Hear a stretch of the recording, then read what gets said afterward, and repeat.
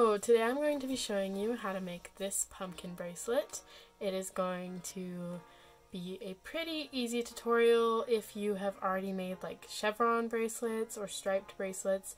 You do need prior knowledge of what a forward, backward, and forward, backward, and backward, forward knots are. So all four of those kinds of knots, if you understand those, then you are set to make this bracelet. So let's get on with the actual tutorial. It's pattern 105966 by Emma James on Bracelet Book, and it is so cute and pretty simple. That's the entire pattern. So I'm going to walk you through it. If you don't understand how to read patterns, that's totally fine. You don't need to. I'm just going to show you how to do it and talk you through every step. First, you're going to want to cut out your strings. So for this bracelet, um, I am going to do about a little bit longer than two feet per string. Um, and then that's just that's being generous, but I just want to make sure I have enough space for however big I want to make it. And then I'm going to have seven black strings that length, and then four orange strings that length, and then one green string that length. That's 12 strings in total, and these are all going to be what we're tying on to and tying with, and it'll all make sense in a second. So cut out those strings, and then you're going to tape it to the table, and we are going to want to tape it in, like, it doesn't need to be perfect because we'll move it around, but we're going to tape it down in this order so that, um, or at least tape it down and then move the strings so that they're in this order. The order that you're going to want these strings in, going from left to right, is going to be black, orange, black, orange, black, orange, black, orange, black, green, black, black. So you can look at this if you need more reference. Along with having this taped down and these separated, you want to make sure you're leaving a little bit of space up here if you're wanting to end the bracelet like I do. I like to end all my bracelets with an adjustable end and I'll show you how to do that at the end if you'd like. If not, you can just um, start the bracelet however you'd like, tie a little loop, whatever, but I think especially for this bracelet, because there's only one green string, it is easiest to do it this way.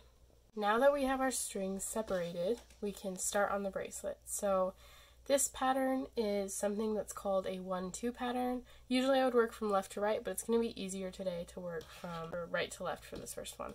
So with a 1-2 bracelet, we are going to be separating the strings um, over the course of the whole bracelet. So it'll make more sense as we go. But for now, we're going to break all these strings up into two per group. We're going to group them together so that there's two per group. And there we go. It's a little bit harder to see at the very top, but as you can see, they're each in groups of two. So I'm going to start with these two strings on the end. I am going to be doing a backward forward knot on this one right here with this black string. So I'm going to do backward part of the forward knot, eh, backward forward knot, and then the forward part of the backward forward knot. And then those, we're done with these two strings for this row. so I'm going to put them out of the way. Next, we're going to move on to our green and black, and we're going to be tying with the green string.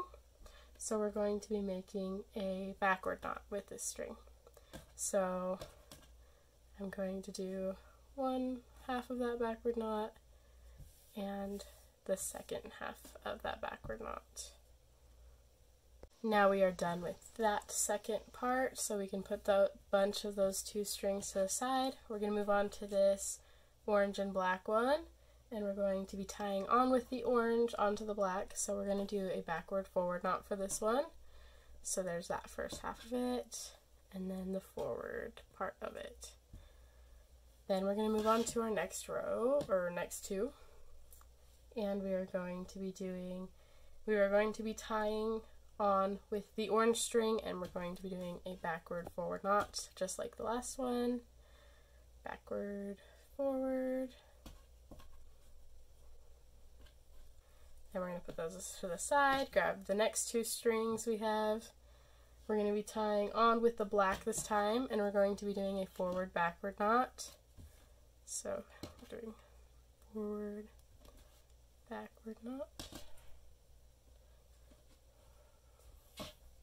And then for these last two strings, we're going to be tying on with the black onto the orange and we're going to do a forward backward knot.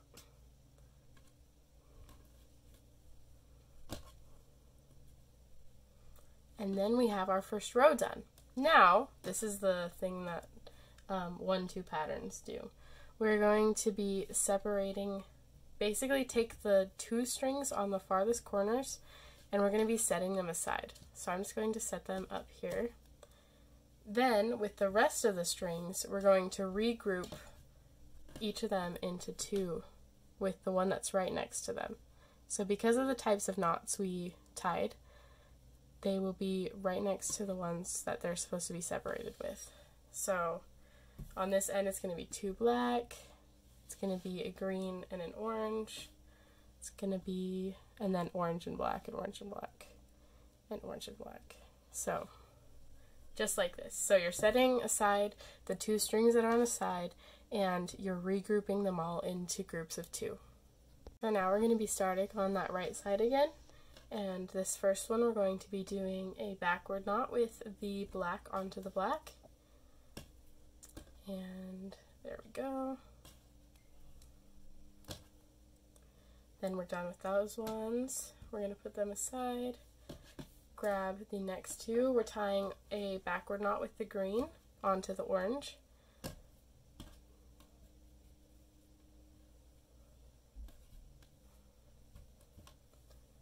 Then we're done with those two. On to the next one. We are tying a forward knot with the orange onto the black.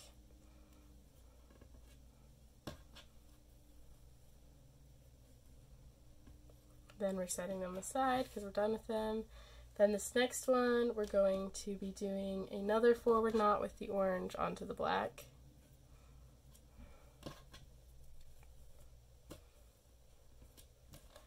Then for the next one, we're going to be doing a forward, backward knot with the black onto the orange.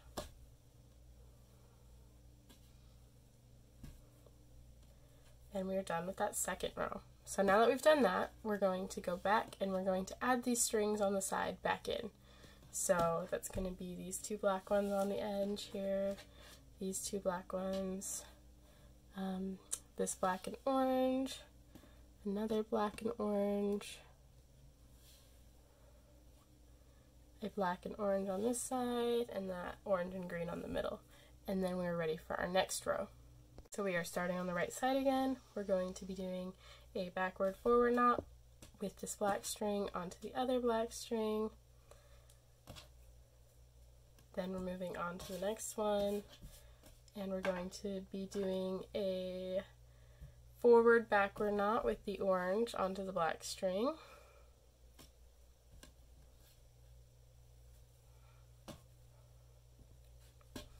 And moving to the next two, we are going to be doing a forward knot with the orange onto the green string.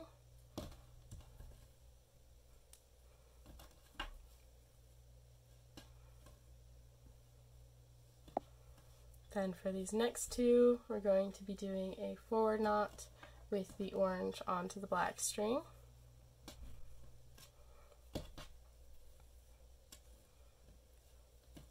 And for this next one, we're going to be doing a forward knot with this orange onto this black string.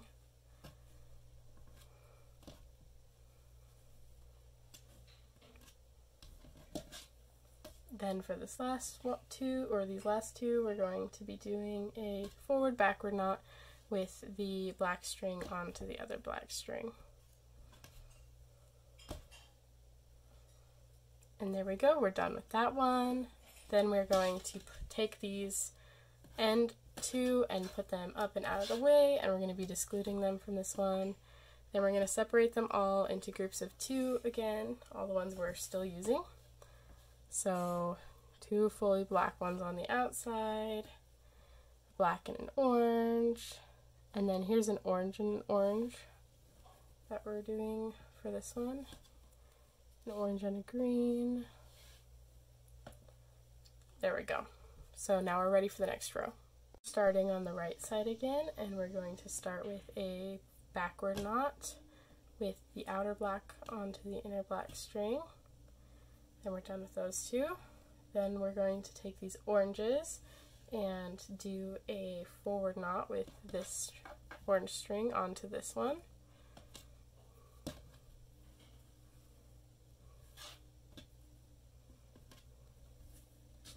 Then with this orange and green we're going to be doing a forward backward knot with the orange string onto the green string.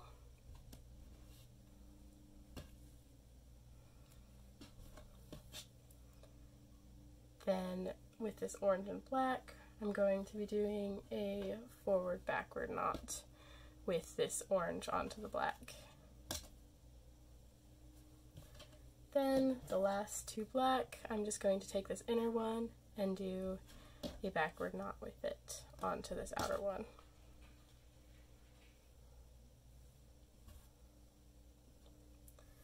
Now we're done with that row, so I'm just going to take the rows on the or the strings on the edge and bring them back in, and I'm going to separate them all into groups of two again. I've got them separated into groups of two now, and so I'm just going to start by on the right side, and I'm going to do a backward forward knot with this black string on the other black string. I'm going to move on to the next two and I'm going to do a forward backward knot with this orange string onto this black string. Forward, backward. Then I'm going to move on to the next two strings and I'm going to do a backward knot with this orange onto this green.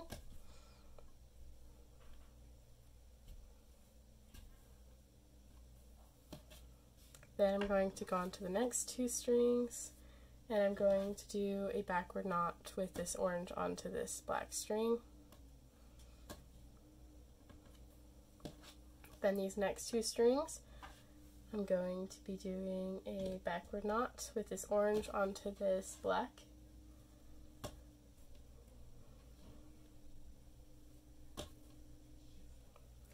Then the last two, I'm going to do a forward. My filming cut off, but I was saying that with the black string, you're doing a forward backward knot onto the other black string. And then it cut out while I was doing this, but we just took the strings from the side, put them up and out of the way, and regrouped these strings. So now we're ready to do the next row. Going from right to left again, I'm going to start it by doing a backward knot with this black onto this other black string. Then for the next two strings, we're going to do a backward knot with the orange onto the green.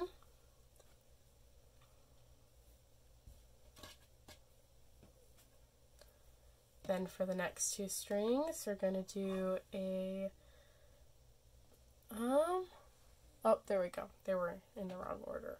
Um, but I'm going to do a backward knot with the orange. Then for the next two strings, I'm going to do a backward knot with the orange. And then for the last two strings, I'm going to do a forward knot with the black.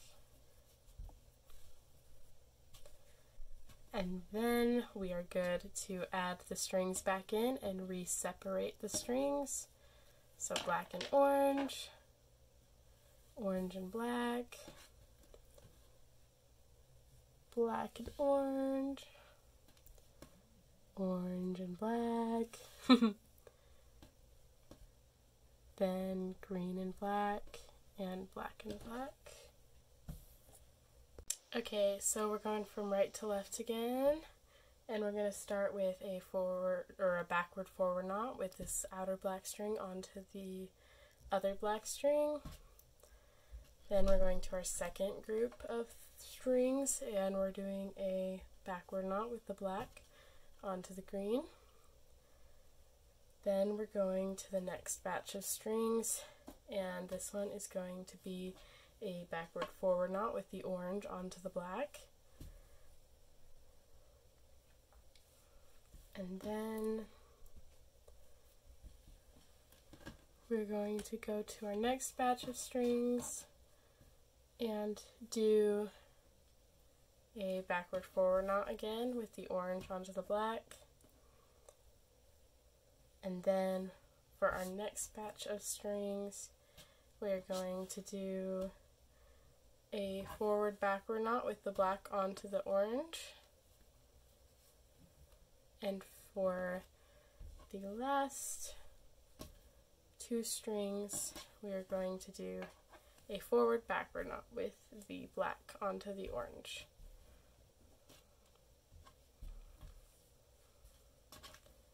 And that finishes up that row, so we'll put the end strings up and to the side and then re-separate our strings again. Um, so yeah, with that one-two pattern, we do that a lot. We just separate our strings and do the knots, separate strings, do the knots, and it's basically just that repeated over and over. So now we are going to do all black backward knots. So on every group that we have, we're going to be doing a black backward knot. So this one's pretty simple, so I'm going to speed it up for you.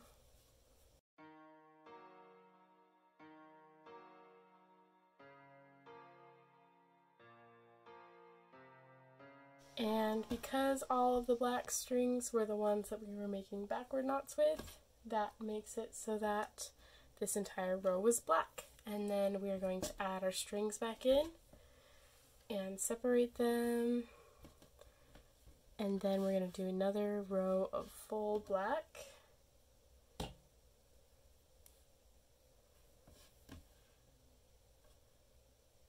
And if you ever make a mistake, and have two strings together that aren't supposed to be together, you can just kind of finagle with them and it works out. So then we're going to start this off by with these first two tying with the black string onto the green. We're doing a forward backward knot and then we're going with our next two and we're doing a forward backward knot again or th these are backward forward knots, so ignore me. They're backward forward knot and then backward forward knot, and then another backward forward knot, backward, then forward, then backward, and once again this is an entirely black row, and forward, and backward and forward.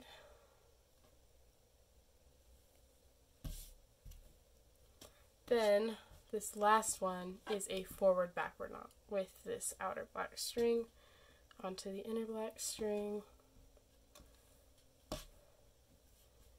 And then we are finished with that row and then we're going to put so you're going to want to put these black strings out to the side and then we're going to regroup all of our strings again and get them in little groups of two. And this is our last row for the pattern, which, sorry for shaking the hammer, which means that um, after this point, you're just going to either rewind the video or you know, anything that you'd like. And we're going to just redo this over and over and over until the bracelet is the length that you want it to be. So let's start on this side. Again, one more time, we're going to be doing a forward knot with this black onto this green. And this row is going to get our strings in the correct place to restart the pattern. So if you do this row right, and if you did all the other rows right, that means that the strings will start in the same order as they did at the beginning of this video. So yeah, for this next row, we just did another forward knot. And then this is actually forward knots all the way across, and you're tying with black every time. So that makes this row pretty simple. Just, yeah, make sure you have the black strings out and to the side, and then you can do this one, and it's super simple. So as we finish up this part of the bracelet, I am going to um, finish the bracelet off camera or finish the pattern part, but then I'm going to show you how to do the ends and um, how to finish the actual bracelet itself.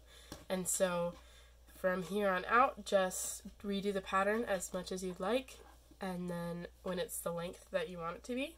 It doesn't have to fit over your whole wrist because the way we're ending it gives us a little bit of space we don't have to fill. But um, finish however long you want to make it with your pattern and then come back to the video or unpause and then we will go over how to finish the ends. So good job on this part. Okay, now I have repeated the pattern, let's see, one, two, three, four, five, six, seven, eight, nine times. Um, I started half of the pumpkin, but I'm ending it here on the end because the top is kind of similar to that. And I'm going to show you how I like to end my bracelets. So I like to take the excess string that we saved and I'm going to split it in half or almost in half if there's an odd number. For this one, it's even, so I'm going to split it in half. And I'm going to take one side and twist it to the right. Then you can tape that down or hold it. I'm just going to hold it while I do the other one. You're going to take the other side, twist it to the, to the right, the same direction as the other one. And I'm just going to twist it like pretty, pretty tight. Maybe not like as tight as you can, but like tight. And then you're going to twist them around each other the opposite direction that you twist them. And mine's coming down. The tape is slipping. But we're going to be going to the left because we did it to the right. Yeah, if your tape slips, just hold it, pull it back up. We're just twisting this until, and you can keep twisting the little strings as you go too. And you're going to do this on both sides. Then once you get to the edge, you're going to take it, make a little twisty like that, and string the edges through the hole. Then you're going to pull as tight as you can and make a little knot right there. Ta-da! Your first side is done. Then you're going to want to do it on the other side. So I just want to match the length of this one with the length of it on the other side. Then I like to cut off the excess string. Sometimes it's a tiny bit like this. Sometimes it'll be a lot more like the other side. But yeah, I'm going to do that with the other side real fast, matching the length of this one. So now I've done that on both sides. I'm going to um, finish off the bracelet um, by putting them together, putting the ends together. I'm going to tape them down and then I'm going to tie some square knots around this middle part. So I'm going to start by just doing a normal knot around it. So make an X, put the knot through the hoop. There we go. I'm going to tape down this bottom half. And then I'm going to tie some square knots. So I'm going to go underneath with this side. And this is just a piece of excess string I actually just cut off from the bottom. And then I'm going to go over with this side and pull this through the loop like that. I'll show you again. so I'm actually going to go under with the other side now. Under like that. And then this is going to go over and through there. And this is going to go through this hole. And we're going to switch sides that we're doing that with again. So if you need to retape down the sides, you can. but you're going to take this, go under, take this side, go over and through, and pull this one through. And then you can make it as short or as long as you want. I'm going to do one more knot probably. And then I'm just going to tie a little knot um, at the top with just a normal type knot. And I'm going to do it twice so that it stays. And then cut off the excess and you can put a little dot of super glue on there if you want to make the extra certain that stays. and then you have your finished bracelet and this will make it so that the back is adjustable and then you can put on your new pumpkin bracelet.